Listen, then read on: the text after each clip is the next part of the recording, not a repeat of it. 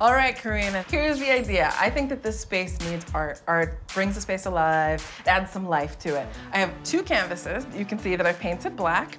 And the concept is we're gonna get a little Jackson Pollock on it. We're gonna do some drip wall art. Okay.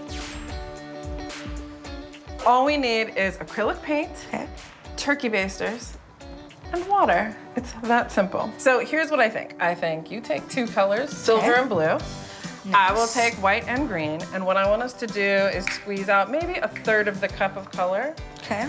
and then I want to thin the paint down, and I want to thin it down to the consistency of like heavy cream. Okay. So that it's still runny, we still get a nice drip on our mm. canvas, but it's got a little body, it's a little bit thicker than water. Okay. I'm working with Karina on some drip wall art, and I really wanted her to be involved in this because I want her to make something for her dad, something for this space with her own two hands. That's really part of creating that part of the home moment. We want to drip always from the top of the canvas so that everything, gravity is helping us. And we get Okay. that nice long drip down. And I'm kind of not even squeezing, I'm just running and letting it kind of so satisfying. All right, I'm liking mine. I'm gonna switch colors. It's looking really awesome. You digging it? So awesome. Going in with my second color.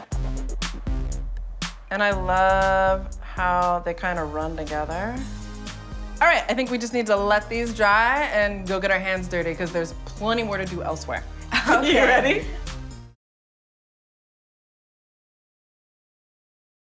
Saturday on an all new Homemade Simple. Is it true that the dishwasher doesn't work? Yeah, you're looking at the dishwasher. She's the dishwasher. The team is doing it all for Dad. You guys did this work? Stories for better or worse. We're excited to have actress comedian Coco Brown with us today. Well, Coco, Hey. congrats on all the success. You guys are Thank entering you. your fourth season. Yes, yes, and doing very well in the ratings.